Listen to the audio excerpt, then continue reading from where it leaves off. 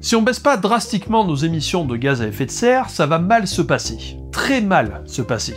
C'est dans ce contexte qu'est ressortie une idée des placards, et si on utilisait des téléphériques comme transport en commun?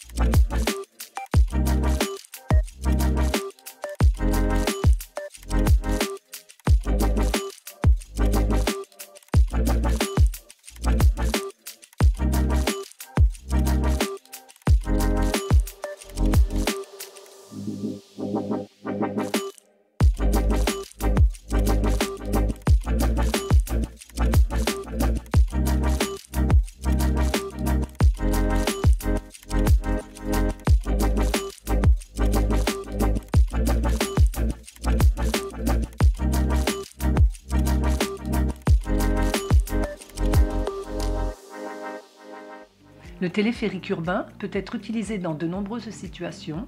Il peut permettre d'étendre un réseau de transport en commun, de décongestionner ou de relier des espaces très fréquentés, mais son principal atout est sa capacité à franchir des obstacles.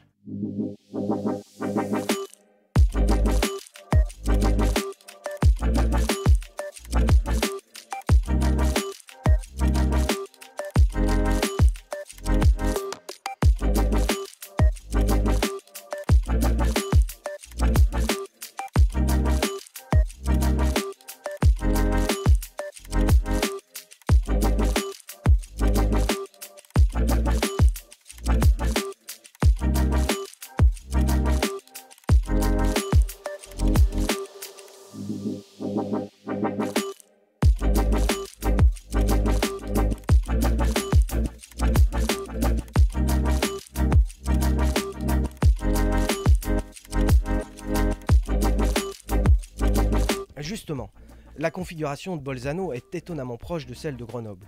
Trois massifs, des plateaux verdoyants à 1200 mètres d'altitude, deux rivières et, en bas, une ville plate où poussent les écoquartiers et où évoluent des myriades de cyclistes.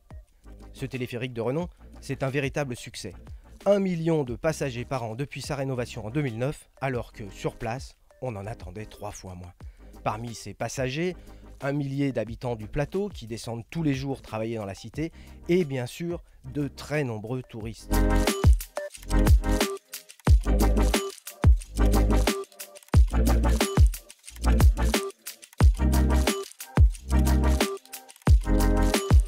Et ce projet de liaison avec le plateau de Vercors, au-delà d'un projet de transport, et on s'est beaucoup omnibulé sur un projet de transport, euh, au-delà du projet de transport, c'est vraiment un problème de liaison de territoire.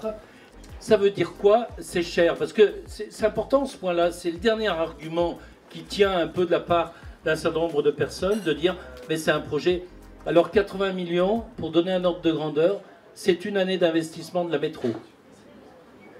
Euh, je ne vais pas abreuver avec des chiffres, mais c'est moins, de 3 moins de 3 km de tram. On peut aussi parler écologie, développement durable de notre territoire, comment euh, avoir un tourisme 4 saisons et pas uniquement posté sur les, deux grosses saisons euh, hiver-été. Euh, comment on peut attirer un, tourisme un peu plus doux, comment on peut favoriser la consommation locale? et je pense que ce projet peut apporter certaines réponses.